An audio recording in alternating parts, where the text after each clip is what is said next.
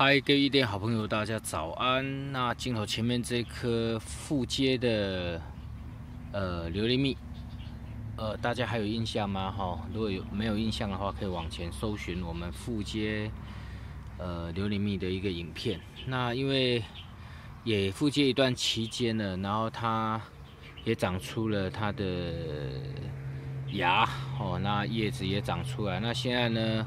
我打算把它这边我们当初附接这边的一个石蜡膜给它拆除，待会我会从哦从针木的部分，也就从后面这边部分划一刀下来，然后帮整个石蜡膜拆掉。那拆掉之后，那再给各位看一下附接复原的一个状况。好的，我们现在呢把这个石蜡膜哦的背面呢划了一刀，我们在这个地方。我划了一刀下来，然后将这个石蜡膜呢拆开之后，我们发现呢，它附接的位置，哦，已经复合复原的很好了，已经，呃，已经组织都长出来，而且都粘合在一起了。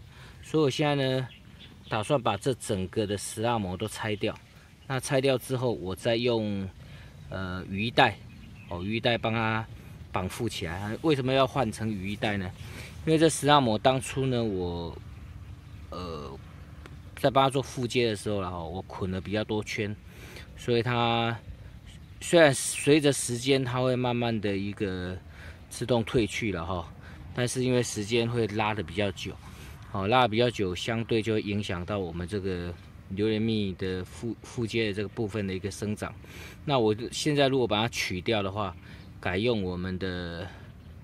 呃，那个鱼袋的话，哈，呃，好处就是说鱼袋它没有，它要拆，我们随时要拆都可以，或者要要帮它稍微作为松绑也可以，哦，它的那个成长的速度会比较快一点，哦，所以我现在要把这个整个的石蜡膜拆光之后，哦，再绑附上呃我们的呃鱼袋。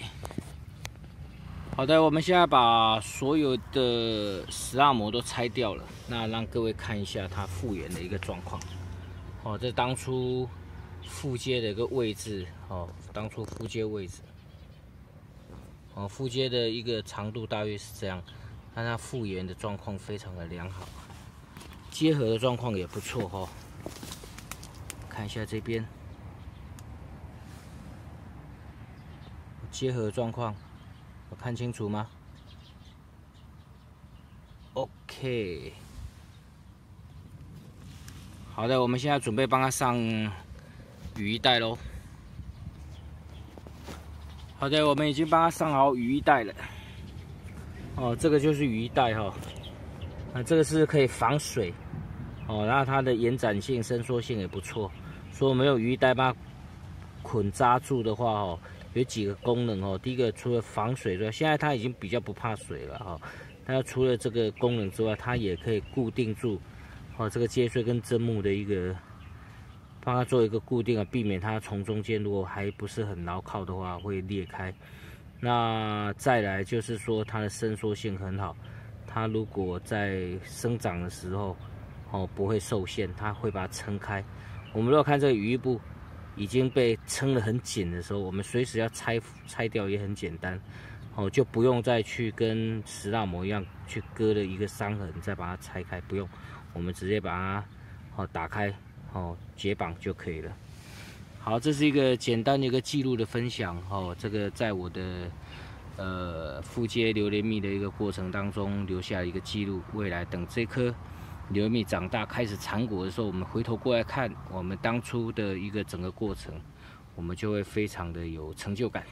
好，谢谢大家的观看。那喜欢我们影片，请持续的关注、订阅并按赞。拜拜。